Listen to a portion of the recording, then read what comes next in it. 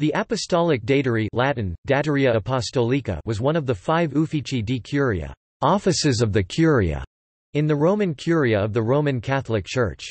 It was instituted no later than the 14th AD. Pope Paul VI abolished it in 1967. Origin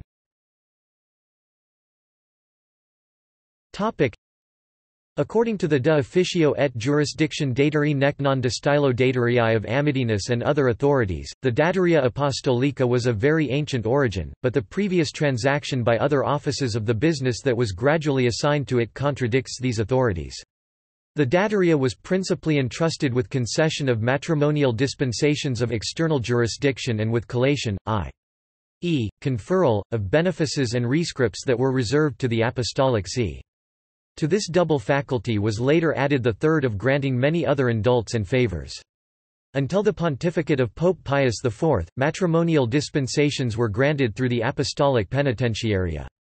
Regarding the authority of collation of reserved benefices, it could not have been granted in ancient times because the institution of those reservations is comparatively recent. Although some vestige of the reservations is found prior to the 12th century, the custom was not frequent before Pope Innocent II, and the reservation of benefices was instituted as a general rule de pract, et dignit, 3, 4, c. 2 6 degrees only from the pontificate of Pope Clement IV.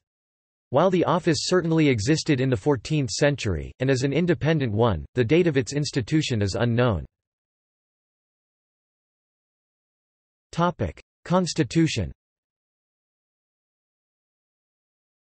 The Dataria consisted first of a cardinal as its principal who was titled the pro-datary Prodatarius, until Sapienti Concilio of Pope Saint Pius X, and thereafter was titled Datarius. Datary. There was formerly as much discussion of the title of pro-datary as of that of vice-chancellor of the Apostolic Chancery, some contend that the title is derived from the fact that the office dated the rescripts of the Supreme Pontiff, while others that it is derived from the right to grant dare the indults and rescripts for which petition was made to the Supreme Pontiff. It is certain that, on account of these faculties, the datary enjoyed great prestige during the flourishing of the office, when he was denominated the Oculus Papae, eye of the Pope. After the cardinal datary came the subdatary, subdatarius, a prelate of the Roman Curia who assisted the datary and assumed almost all of the faculties of the datary as his substitute on occasion.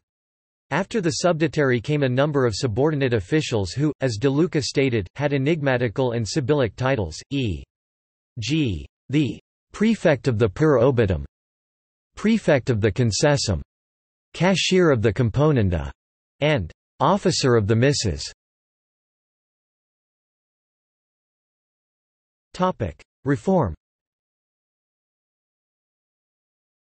Topic: Pope Leo XIII reformed the organization of the Dataria to conform it to contemporary requirements.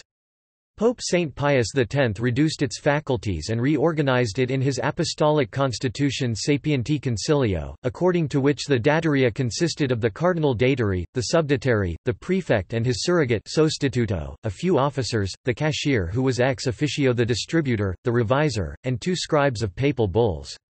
Sapienti Concilio retained the theological examiners for the competitions for parishes.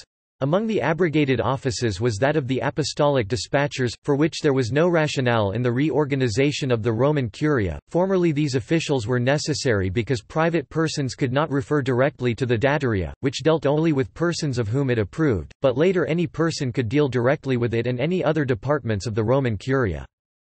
To the Dataria, which was commissioned to grant many papal indults and favors, remained only the faculties to investigate the fitness of candidates for consistorial benefices, which were reserved to the Apostolic See, to write and dispatch the apostolic letters for the collation of those benefices, to dispense from the conditions of those benefices, and to provide for the pensions or for the execution of the charges imposed by the Pope in the collation of those benefices.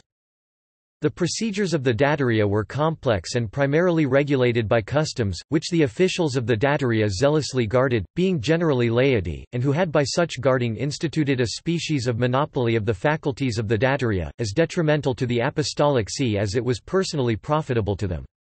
Thus it happened that its offices often descended from father to son, while the ecclesiastical superiors of such officials were to a great extent blindly dependent upon them. Pope Leo XIII initiated the reform of this condition of things before Pope Saint Pius X totally rectified it. Abrogation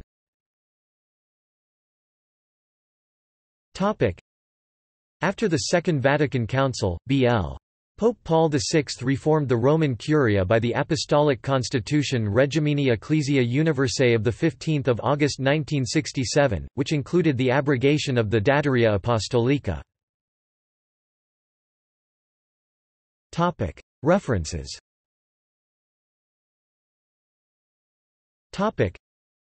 This article incorporates text from a publication now in the public domain, Herbermann, Charles, ed. 1913.